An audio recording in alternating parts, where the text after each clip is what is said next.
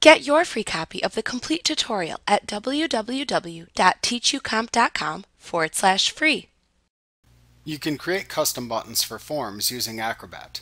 Form buttons are connected to actions. Commonly buttons are used to submit information or reset form fields. To create a form button, open a PDF in Acrobat and then choose the Prepare Form tool from the Tools Center or Tools pane. If the open document has not yet been converted into a fillable form, Acrobat prompts you to convert the file. If the open document has already been converted into a fillable form, Acrobat displays Form Editing Mode.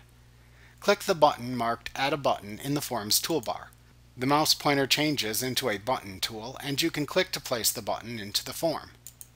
The field name tag opens and you can type a name for the button. Next, click the All Properties link to open the Button Properties dialog box where you can adjust many attributes of the button.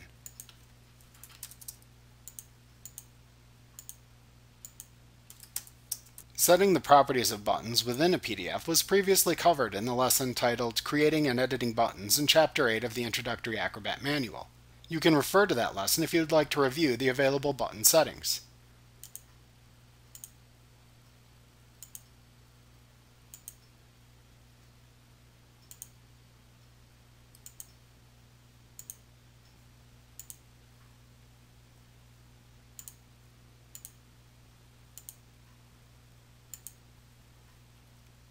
Like what you see? Pick up your free copy of the complete tutorial at www.teachucomp.com forward slash free.